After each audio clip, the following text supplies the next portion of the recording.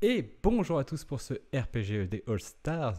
Aujourd'hui, je suis accompagné par euh, Comme Martin, auteur euh, prolifique de grands jeux et de petits jeux. Et ça tombe bien parce qu'on va parler autour du terme petit. Merci à toi de, m'inviter dans cette, euh, cette brochette de stars. Je suis euh, très honoré d'en faire partie.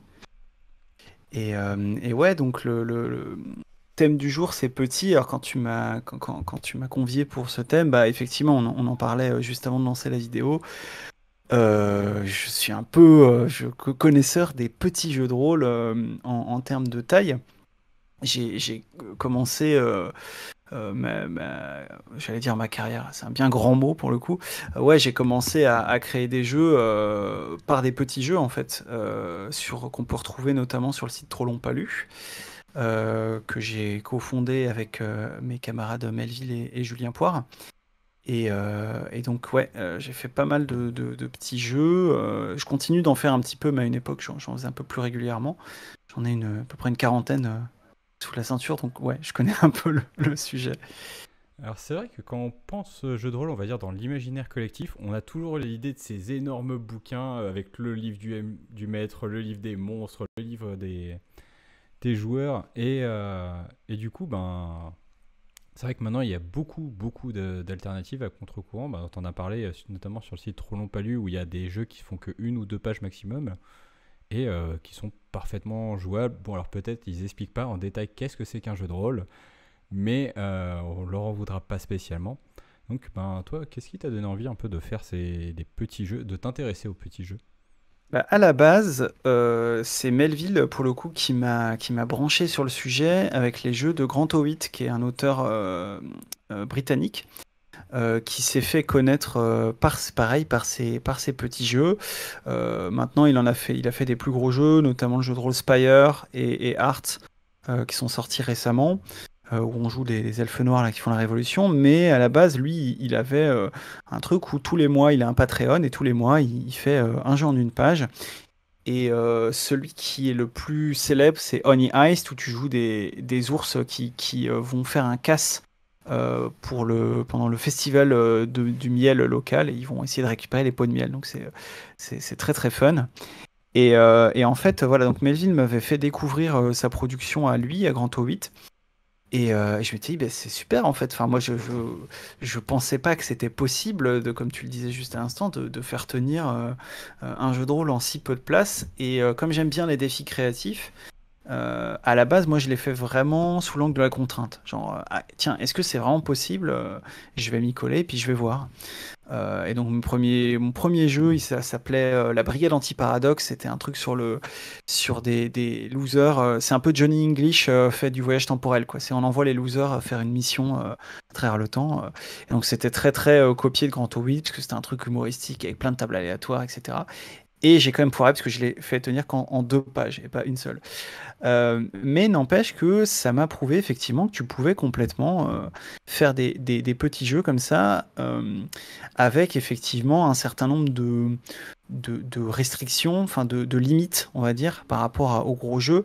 Je pense que tu l'as évoqué, la, la première limite, c'est le fait que un petit jeu de rôle, moi j'appelle ça même des mini jeux de rôle tellement c'est petit, ne va pas te prendre par la main. Alors, il n'y a pas le traditionnel euh, paragraphe sur qu'est-ce qu'un jeu de rôle, etc., évidemment, mais euh, ça fonctionne effectivement avec un certain nombre de, de, prérequis, de choses que tu es censé déjà savoir. Tu es censé déjà savoir qu'est-ce qu'un MJ, qu'est-ce qu'un jet de qu'est-ce que machin et tout, parce que tu n'as pas la place, en fait, de, l'expliquer, quoi. Euh, et d'autre part, donc ça, c'est le premier truc. Et l'autre chose qui- qu'il n'y a pas euh, dans les petits jeux de rôle, ou plutôt qu'il y a à foison, c'est des trous. Il y a beaucoup, beaucoup de trous à remplir dans ce genre de jeu. Euh, on te prend pas par la main parce que en tant que MJ, euh, tu vas devoir fournir beaucoup pour, tu vas devoir beaucoup improviser en fait, pour parce que tu peux pas tout, tout faire tenir. en une page, c'est des systèmes généralement très très simples, donc bah, va falloir beaucoup improviser pour combler tel point de règle, etc. Il y a des, des fois, alors je précise que c'est pas mon cas, mais il y a quand même pas mal de petits jeux de rôle qui sont pas testés ou très peu testés, et du coup, ben, euh, quand tu lances une partie, tu te rends compte que tel point de règle marche pas, etc. Donc ça, ça demande quand même, je, je pense que moi, je pensais à la base que les petits jeux de rôle étaient idéaux pour initier des gens, parce que tu as très peu à lire. Tout le monde peut prendre 5 minutes pour lire le, la page avant de jouer. On est tous sur la même longueur d'onde et il euh, n'y a pas de souci. Mais en fait, euh, je me demande à quel point pour les novices c'est euh, abordable. Bah, du coup, moi, je me pose la question.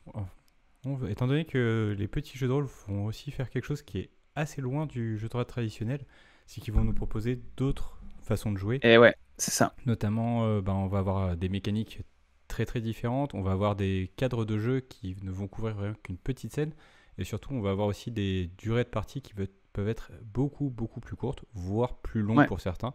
Mais euh, voilà, c'est j'ai l'impression que les petits jeux ont euh, cette volonté de ben, casser les, nos habitudes de rôliste pour euh, vraiment nous proposer autre chose, aller ailleurs, faire Ouais, ouais, complètement. Euh, c'est ça, le, le, le, contrepoint de tout ça, c'est qu'effectivement, euh, ça nous fait aller ailleurs. Ça fait que, euh, en tant que, que rôliste, tu des habitudes que, qui vont pas forcément être. ça va être un peu difficile de te défaire de certaines habitudes quand tu joues bah voilà, des ours cambrioleurs, ça va encore, mais il y a des, des, jeux qui vont quand même beaucoup, beaucoup plus loin.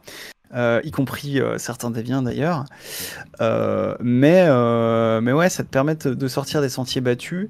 Et j'allais dire qu'à l'inverse, il y a aussi des, des propositions hyper. Alors, il y a des propositions hyper expérimentales, il y a des propositions aussi hyper poétiques, beaucoup plus simples, où tu n'as même presque pas de règles. et ça, j'ai l'impression que c'est un peu plus typiquement. Alors, il y a deux courants, il y a, pas mal de jeux, mini-jeux français qui font ça, mais il y a aussi un type de jeu où là, c'est vraiment l'extrême. Euh, de cette euh, mouvance-là qui s'appelle des game poems, donc des, poèmes-jeux, quoi, où euh, pour le coup ils sont extrêmement courts et, presque leur, lecture est presque plus importante que le fait d'être joué.